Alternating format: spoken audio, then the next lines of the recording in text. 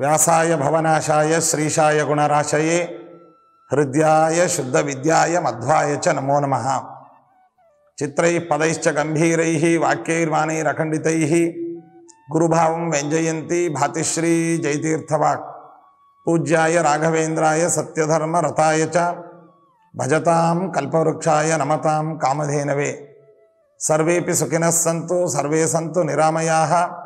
ಸರ್ವೇ ಭದ್ರಾಣಿ ಪಶ್ಯಂತು, ಸರ್ವೇ ಸುಗುಣಶಾಲಿನಃ. ಮಹಾಭಾರತ ಪಂಚಮ ವೇದ ಎಂಬುದಾಗಿ ಪ್ರಸಿದ್ಧವಾದದ್ದು. ಅಂತಹ ಮಹಾಭಾರತದ ಸಾರ, ಭಗವದ್ಗೀತೆ ಮತ್ತು ವಿಷ್ಣು ಸಹಸ್ರನಾಮ. ಇವುಗಳ ಬಗ್ಗೆ ಹೇಳುವಾಗ, ಗೀತಾ ಸುಗೀತಾ ಕರ್ತವ್ಯ ಕಿಮನ್ಯೈ ಶಾಸ್ತ್ರವಿಸ್ತರೈಹಿ ಎಂಬುದಾಗಿ ಹೇಳಿದಂತೆ ಭಗವದ್ಗೀತೆಯ ಮಹಿಮೆಯನ್ನು ಅತ್ಯದ್ಭುತವಾಗಿ ವರ್ಣನೆ ಮಾಡಿದ್ದಾರೆ. ಭಗವದ್ಗೀತೆ ಎನ್ನುವಂತಹದ್ದು ಮನುಕುಲದ ಸಂವಿಧಾನ ಇದು. ಈ ಭಗವದ್ಗೀತೆಯನ್ನು ಸಮಗ್ರವಾಗಿ ಹದಿನೆಂಟು ಅಧ್ಯಾಯಗಳಿಂದ ಕೂಡಿರತಕ್ಕಂತಹದ್ದನ್ನು ಒಂದೊಂದು ಅಧ್ಯಾಯಗಳ ಸಾರವನ್ನು ಒಬ್ಬೊಬ್ಬ ಪೀಠಾಧಿಪತಿಗಳಿಂದ ಪ್ರಸ್ತುತಪಡಿಸಿ ಪ್ರಸಾರಪಡಿಸಬೇಕು ಎಂಬುದಾಗಿ ಈ ಒಂದು ಯೋಜನೆಯನ್ನು ಹಮ್ಮಿಕೊಂಡಿರ್ತಕ್ಕಂತಹವರು ಮುಖ್ಯವಾಗಿ ತ್ರಿವಿಕ್ರಮ ಮೀಡಿಯಾ ವತಿಯಿಂದ ಇದನ್ನು ಭಕ್ತಿಸುಧಾ ಅನ್ನುವಂತಹ ಒಂದು ಮಾಧ್ಯಮದ ಮೂಲಕವಾಗಿ ಪ್ರಸ್ತುತಪಡಿಸ್ತಾ ಇದ್ದಾರೆ. ಇದು ಅತ್ಯಂತ ಯೋಗ್ಯವಾಗಿರತಕ್ಕಂತಹ ವಿಷಯ. ಪ್ರಸ್ತುತ ಹದಿನಾಲ್ಕನೇ ಅಧ್ಯಾಯದ ಒಂದು ಸಾರವನ್ನು ಈಗ ನಾವು ತಿಳಿಯಲು ಪ್ರಯತ್ನಿಸೋಣ. ಈ ತನಕ ಹದಿಮೂರು ಅಧ್ಯಾಯಗಳಲ್ಲಿ ಬಂಧ ನಿವೃತ್ತಿಗಾಗಿ ಕರ್ಮಯೋಗವೆಂಬತಕ್ಕಂತಹ ಬಹಿರಂಗ ಸಾಧನ, ಇನ್ನು ಧ್ಯಾನ ಯೋಗದೆಂಬ ಧ್ಯಾನ ಅಂತರಂಗ ಸಾಧನವನ್ನು ವಿವರಿಸಿ ಪರಮಾತ್ಮನ ಸರ್ವೋತ್ತಮತ್ವವನ್ನು ವಿವರಿಸಲಾಗಿದೆ. ಆದರೆ ಬಂಧದ ಸ್ವರೂಪವೇನು, ಅದರ ಪ್ರಕಾರವೇನು ಎಂಬುದನ್ನು ತಿಳಿದಾಗ ಮಾತ್ರ ಬಂಧ ನಿವೃತ್ತಿಯ ಉಪಾಯಗಳ ಬಗ್ಗೆ ಆಸ್ತಿ ಉಂಟಾಗತ್ತೆ ಎಂಬುವಂತಹ ವಿಚಾರದಿಂದ ಬಂಧದ ಸ್ವರೂಪವನ್ನು ಇಲ್ಲಿ ಈ ಅಧ್ಯಾಯದಲ್ಲಿ ಪ್ರಸ್ತುತಪಡಿಸ್ತಾ ಇದ್ದಾನೆ. ಭಗವಾನ್ ಶ್ರೀಕೃಷ್ಣ ಅರ್ಜುನನನ್ನು ನಿಮಿತ್ತ ಮಾಡಿಕೊಂಡು ಜಡ ಪ್ರಕೃತಿಯ ವಿಕಾರವಾಗಿ ಉದ್ಭವಿಸುವ ಜಡ ಪ್ರಕೃತಿಯ ಅಂಶಗಳಾದಂತಹ ಸತ್ವ, ರಜಸ್ ಹಾಗೂ ತಮಸ್ ಎಂಬತಕ್ಕಂತಹ ಗುಣಗಳೇ ದೇಹದಲ್ಲಿರುವಂತಹ ಅವ್ಯಯನಾದ ಜೀವನಿಗೆ ಬಂಧಕಗಳಾಗಿವೆ. ಈ ಮೂರು ಗುಣಗಳ ಪ್ರಭಾವಗಳೇನು?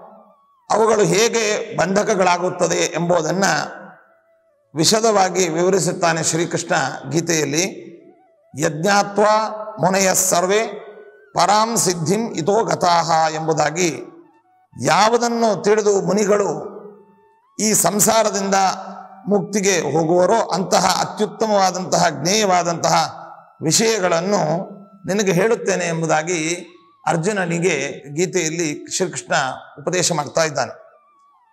ಸತ್ವ, ರಜಸ್ಸು ಮತ್ತು ತಮಸ್ಸು ಎಂಬತಕ್ಕಂತಹ ಮೂರು ಗುಣಗಳು ಈ ಜಡ ಜಡ ಪ್ರಕೃತಿಯಿಂದ ಹುಟ್ಟಿದಂತಹವುಗಳು. ದೇಹದಲ್ಲಿರುವಂತಹ ಸ್ವರೂಪತಃ ನಾಶವಿಲ್ಲದ ಜೀವಿಗಳನ್ನು ಇವುಗಳು ಬಲವಾಗಿ ಬಿಗಿದಪ್ಪಿವೆ. ಸತ್ತಾದಿ ಗುಣಗಳಿಗೆ ಕ್ರಮವಾಗಿ ಶ್ರೀದೇವಿ, ಭೂದೇವಿ ಮತ್ತು ದುರ್ಗಾದೇವಿಯರು ಅಭಿಮಾನಿ ದೇವತೆಗಳಾಗಿದ್ದಾರೆ. ಇವು ಮಹಾಲಕ್ಷ್ಮಿಯ ರೂಪಗಳು. ಶ್ರೀದೇವಿಯು ಸಾತ್ವಿಕರನ್ನು, ಭೂದೇವಿಯು ರಾಜಸರನ್ನು, ದುರ್ಗಾದೇವಿಯು ತಾಮಸರನ್ನು ಬಂಧಿಸುತ್ತಾಳೆ. ಸತ್ವಂ ರಜಸ್ತಮೈದಿ ಗುಣ ಪ್ರಕೃತಿ ಸಂಭವಾ ನಿಬದ್ಧಂತಿ ಮಹಾಬಾಹೋ ದೇಹೇ ದೇಹಿನ ಅವ್ಯಯಂ ಎಂಬುದಾಗಿ ಇವುಗಳಲ್ಲಿ ಸತ್ವಗುಣವು ಶ್ರೀತತ್ವ ನಿರ್ಮಲವಾದದ್ದರಿಂದ ಜ್ಞಾನ ಪ್ರಾಪ್ತಿಗೆ ಕಾರಣವಾಗುವುದು. ರೋಗಾದಿ ದೋಷಗಳನ್ನು ಪರಿಹರಿಸುವುದು.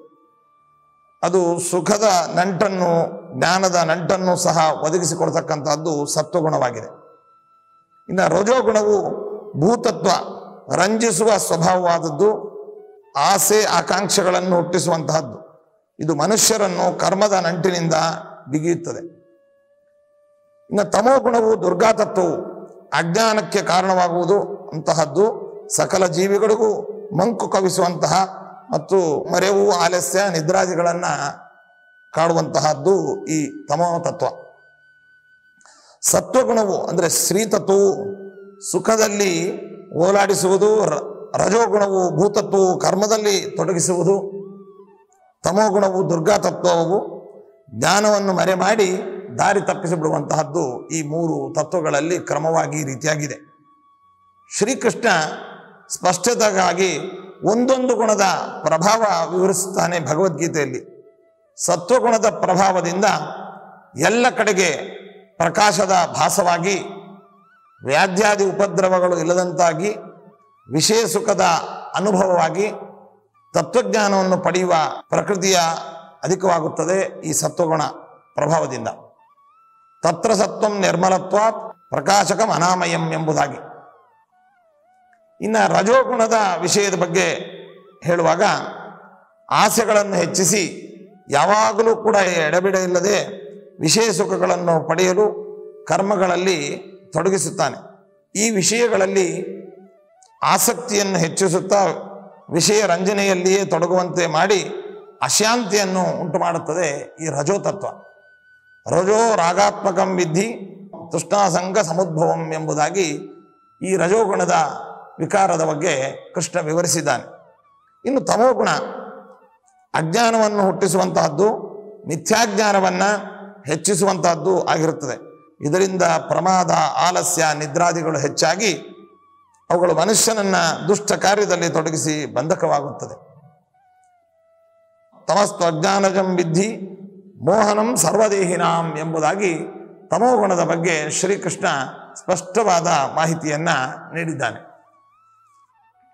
ಇನ್ನು ಮರಣಕಾಲದಲ್ಲಿ ಸತ್ವಗುಣದ ಉದ್ರೇಕವಿದ್ದರೆ ಜೀವನು ಮುಂದಿನ ಜನ್ಮದಲ್ಲಿ ವಿಷ್ಣುಜ್ಞಾನಿಗಳ ವಂಶದಲ್ಲಿ ಜನಿಸಿ ತನ್ನ ಸಾಧನೆಯನ್ನು ಮುಂದುವರೆಸ್ತಾನೆ.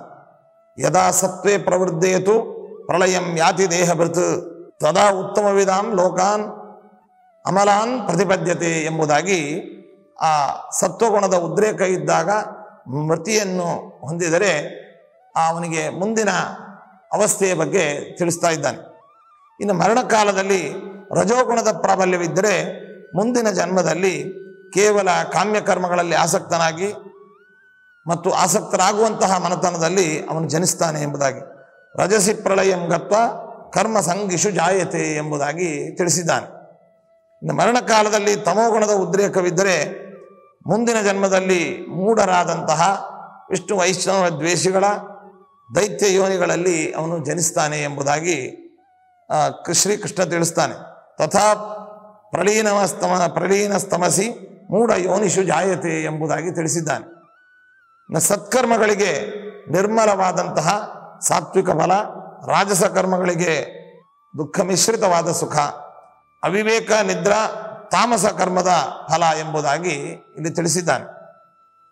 ಕರ್ಮಣಃ ಸುಕೃತಾನ್ಯಾಹು ಸಾತ್ವಿಕಂ ನಿರ್ಮಲಂ ಫಲಂ ರಾಜಸಸ್ತು ಫಲಂ ದುಃಖಂ ಅಜ್ಞಾನಂ ತಮಸಫಲಂ ಎಂಬುದಾಗಿ ಸತ್ವಗುಣಕ್ಕೆ ಅಭಿಮಾನಿಯಾದಂತಹ ಶ್ರೀದೇವಿಯ ಬಂಧನಕ್ಕೆ ಒಳಪಡುವವರು ಎಲ್ಲ ಮನುಷ್ಯರನ್ನು ರಜೋಗುಣಕ್ಕೆ ಅಭಿಮಾನಿಯಾದಂತಹ ಭೂದೇವಿ ಬಂಧಿಸುವಳು, ತಮೋಗುಣಕ್ಕೆ ಅಭಿಮಾನಿಯಾಗಿರ್ತಕ್ಕಂತಹ ದುರ್ಗಾದೇವಿಯು ದೈತ್ಯರನ್ನು ಬಂಧಿಸುವಳು ಎಂಬುದಾಗಿ ಈ ಗುಣತ್ರಯಗಳ ಬಂಧಕ ವಿಚಾರವನ್ನು ತಿಳಿಸಿದ್ದಾನೆ.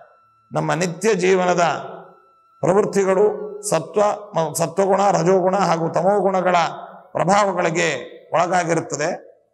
ಸಾತ್ವಿಕರು ಪರಾಪರ ತತ್ವಗಳ ಜ್ಞಾನವನ್ನು ಸಂಪಾದನೆ ಮಾಡಿ ಆ ಜ್ಞಾನದ ಬಲದಿಂದ ಮೇಲಿನ ಲೋಕಕ್ಕೆ ಅಂದರೆ ಊರ್ಧ್ವ ಲೋಕಕ್ಕೆ ಹೋಗ್ತಾರೆ. ರಾಜಸರು ಸ್ವರ್ಗಾದಿ ಸುಖ ಲೋಭದಿಂದ ಕಾಮ್ಯಕರ್ಮಗಳನ್ನು ಮಾಡಿ ಸ್ವರ್ಗ ಮುಂತಾದ ಮಧ್ಯಮ ಲೋಕದಲ್ಲಿ ಇರ್ತಾರೆ. ತಾಮಸರು ವಿಪರೀತ ಜ್ಞಾನದಿಂದ ಅಜ್ಞಾನದಲ್ಲಿ ಮುಳುಗಿ ನರಕವನ್ನು ಹೊಂತಾರೆ ಅಂತ. ಊರ್ಧ್ವಂ ಗಚ್ಚಂತಿ ಸತ್ವಸ್ಥ, ಮಧ್ಯೆ ತಿಷ್ಟಂತಿ ರಾಜಸಾಹ, ಜಗನ್ಯ ಗುಣವೃತ್ತಿಸ್ಥ, ಅದೋ ಗಚ್ಚಂತಿ ತಾಮಸಾಹ. ಯಾರು? ಶ್ರೀಭೂ ದುರ್ಗ. ಈ ಮೂರರಿಗಿಂತಲೂ ಶ್ರೀಹರಿಯು ಅತ್ಯಂತ ಭಿನ್ನ, ಅನಂತ ಗುಣ ಪರಿಪೂರ್ಣ ಎಂಬುದಾಗಿ ಸದಾ ಚಿಂತಿಸುತ್ತಾರೋ ಅವರೇ ಜ್ಞಾನಾನಂದಾತ್ಮಕವಾದ ಮೋಕ್ಷವನ್ನು ಹೊಂದುತ್ತಾರೆ. ಅವರ, ಇವರನ್ನ ಗುಣಾತೀತರು ಎಂಬುದಾಗಿ ಕರೀತಾನೆ ಶ್ರೀಕೃಷ್ಣ. ಹೀಗೆ ಶ್ರೀಕೃಷ್ಣನು ಅರ್ಜುನನಿಗೆ ಉಪದೇಶ ಮಾಡಿದಂತಹ ಪ್ರಕೃತಿ ಗುಣತ್ರಯ ವಿಭಾಗ ಅನ್ನುವಂತಹದ್ದು ಈ ಹದಿನಾಲ್ಕನೇ ಅಧ್ಯಾಯದ ಸಾರವಾಗಿದೆ. ಇಂತಹ ಸಾರವನ್ನು ನಾವು ಮನನ ಮಾಡ್ತಾ ಭಗವದ್ಗೀತೆಯಲ್ಲಿ ತಿಳಿಸಿದಂತೆ ಅನೇಕ ಯೋಗಗಳನ್ನು, ಉಪಾಯಗಳನ್ನು ಭಗವಂತ ತಿಳಿಸಿದ್ದಾನೆ. ಅದನ್ನು ನಾವು ಮನನ ಮಾಡುವ ಮೂಲಕ ನಮ್ಮ ಜೀವನದ ಹಾಸೋಹಕ್ಕಾಗಿ ನಾವು ಅಳವಡಿಸಿಕೊಂಡಾಗ ನಿಜವಾಗಲೂ ಭಗವಂತನ ಸಂದೇಶವನ್ನು ನಾವು ಪರಿಪಾಲನೆ ಮಾಡಿದಂತೆ ಆಗ್ತದೆ. ಅದರಿಂದ ನಮಗೆ ಇಹದಲ್ಲಿಯೂ ಪರದಲ್ಲಿಯೂ ಕೂಡ ಶ್ರೇಯಸ್ಸಾಗ್ತದೆ ಎಂಬುವಂತಹದ್ದನ್ನು ಶ್ರೀಕೃಷ್ಣ ಉಪದೇಶಿಸಿದ ಈ ಭಗವದ್ಗೀತೆಯ ಹದಿನಾಲ್ಕನೇ ಅಧ್ಯಾಯದ ಸಾರವಾಗಿದೆ ಎಂಬುದಾಗಿ ಹೇಳ್ತಾ, ಈ ನಾ ಪ್ರತಿ ಅಧ್ಯಾಯದ ಸಾರವನ್ನು ಒಬ್ಬೊಬ್ಬ ಪೀಠಾಧಿಪತಿಗಳಿಂದ ತಿಳಿಸುವ ಮೂಲಕ ಉತ್ತಮವಾದಂತಹ ಸಂದೇಶವನ್ನು ಇಡೀ ಸಜ್ಜನ ವೃಂದಕ್ಕೆ, ಸಾಧಕ ವೃಂದಕ್ಕೆ ನೀಡ್ತಕ್ಕಂತಹ ಒಂದು ಪ್ರಯತ್ನವನ್ನು ನಮ್ಮ ಬೆಂಗಳೂರಿನ ತ್ರಿವಿಕ್ರಮ ಮೀಡಿಯಾ ವತಿಯಿಂದ ಏನು ಮಾಡಿದ್ದಾರೆ, ಇದನ್ನು ನಾವು ಅಭಿನಂದಿಸ್ತಾ, ಇದೇ ರೀತಿಯಾಗಿ ಶ್ರೀಮದ್ ಆಚಾರ್ಯರ ಎಲ್ಲ ಗ್ರಂಥಗಳ ಸಾರವನ್ನು ಸಾಮಾನ್ಯ ಜನರಿಗೆ, ಸಾಧಕರಿಗೆ ತಿಳಿಸುವಂತಹ ಒಂದು ಪ್ರಯತ್ನ ಇವರದಾಗಲಿ ಎಂಬುದಾಗಿ ಹೇಳ್ತಾ ಅವರನ್ನು ಅಭಿನಂದಿಸಿ ನಾವು ಇದಕ್ಕೆ ಶುಭವನ್ನು ಕೋರ್ತಾ ಇದ್ದೇವೆ. ಸರ್ವೇ ಜನ ಸುಖಿನ ಭವಂತು, ಸಮಸ್ತ ಸನ್ಮಂಗಳಾನಿ ಭವಂತು.